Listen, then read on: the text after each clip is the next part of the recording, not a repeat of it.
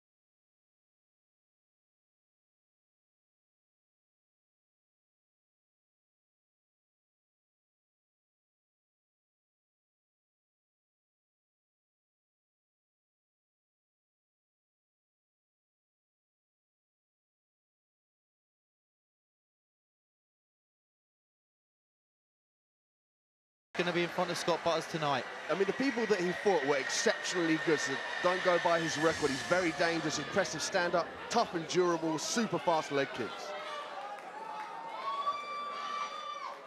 And introducing his opponent, fighting out of the blue corner from BMB and Team Fuzeta, raise the roof for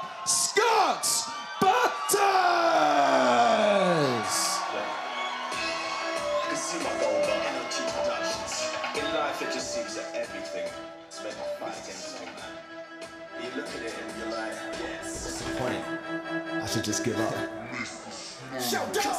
Rap, smash it on track. One my I love that. Stab in the back, won't scratch flank. I'm the type of better, I'm up. Fact. Never can answer, I'm stacked to every attack. Cats can dash slang. I'm it's over. I I'm a colder. I'm a soldier, I don't give a roll like over. Man's got a heart and shoulders. Keep and train with. Pass me the globe, There he is then, he's the man a lot of people have come to see tonight. He's the hometown boy. Main event again at Contenders. Scott Butters, one of the best young prospects on the local MMA scene. Here looking to go to 2-0 as a lightweight, Dean.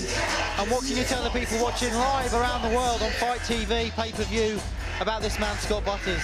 Submission specialist, very dangerous rear naked choke. He keeps his hands nice and high in the striking world, uh, works the strikes to set up the clinch, and he's not afraid to take the fight to the ground when he needs it and look for the finish there. Absolutely, it's, it's important to say his background is kind of grappling and submissions, but he's been working a lot on his striking, and it looked great on his debut against Johan Salvador. He landed a lovely inside leg kick to set up an uppercut, which precipitated the end of the fight, and he's told me he's even better now in the stand-up. He's been working that a lot, and he knows he's always got that as a fallback, the rest in the submissions, if he's not having the way it wants to go on the feet.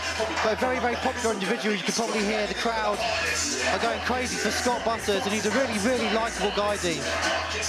Yeah, he's very relentless with his takedowns, good chin, and super tough to finish. Well, ladies and gentlemen, this is our main event of the evening, sponsored by Cannons UK. This lightweight professional mixed martial arts contest will be fought over three five-minute rounds. Introducing to you first, fighting out of the red corner from United Fight Team Nantes. Put your hands together for Jonathan Templier. And his opponent fighting out of the blue corner from BMB and Team Fuzeta. Give it up for Scott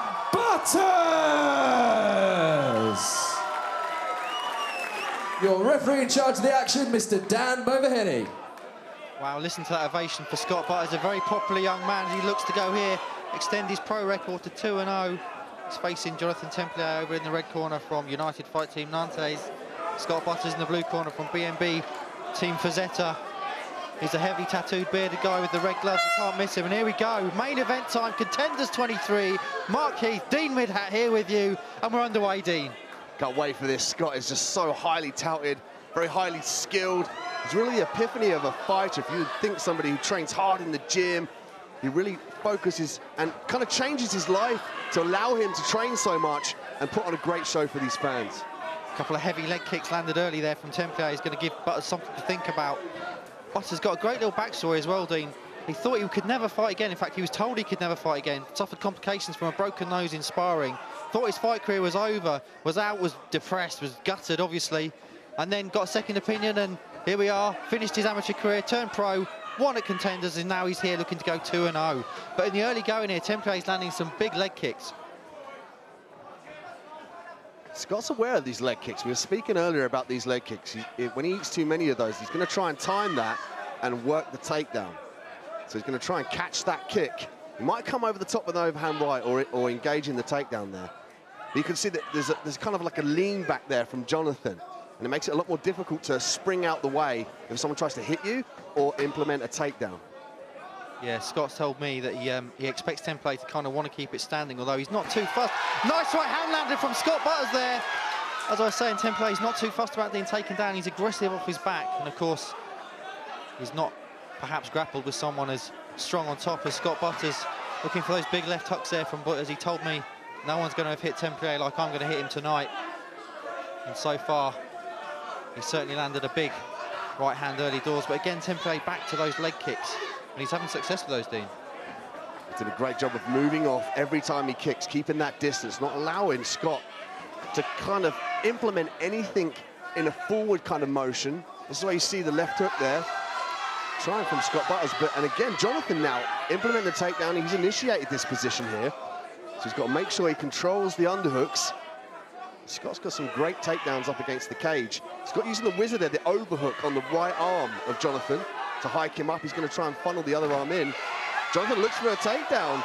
Scott is so strong in that position, looking for the Thai plum clinch, looking to fire the knees. And here the elbows come through from Scott. Yeah, Scott Butters loves throwing those elbows. He, that's the big, of course, difference between the amateur and pro game, and he throws those with impunity, and they hurt and they cut. And I think he's got Templier's attention here as Templier goes for a takedown. He's on the guillotine, though, Scott Butters. That's fight is over, he's got the tap! Scott Butters is 2-0, and he's got the tap.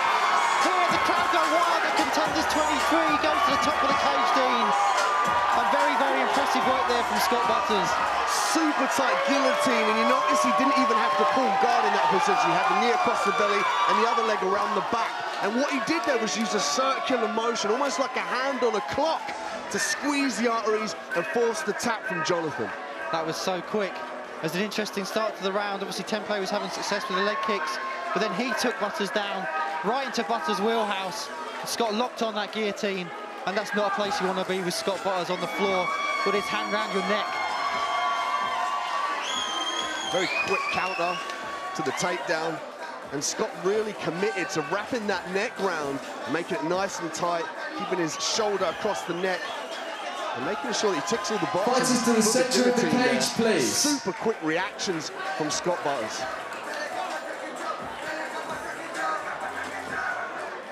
Ladies and gentlemen, let's hear it for both these guys in the cage, please.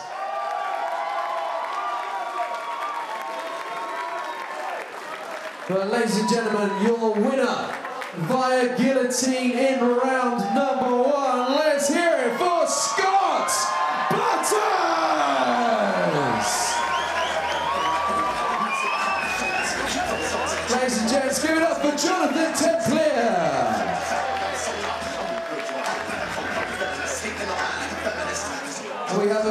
representative from Cannons UK for a picture, please.